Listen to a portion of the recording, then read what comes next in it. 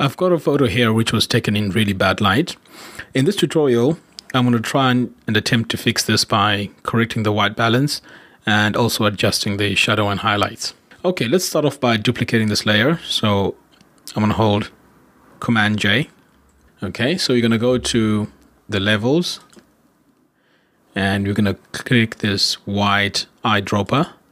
Okay, so we're going to look for, for an area in the picture which is between gray and white.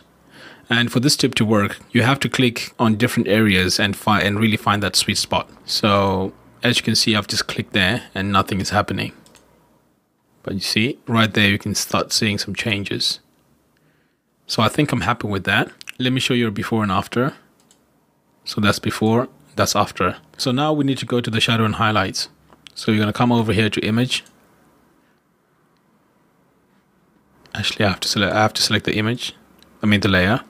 So we come here to image, adjustments, shadow highlights.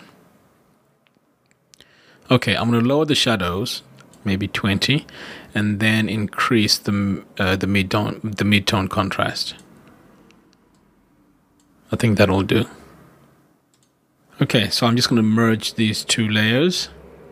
So I'll just shift click and then press Command E. So now we can have a look at the before and after. So that's before and that's after. As you can see, there's a, a big change. So for all your photos that have been taken in bad light, I hope uh, these two tips will help you make your images look much better. Thanks for watching and visit grafxtv.com for more tutorials.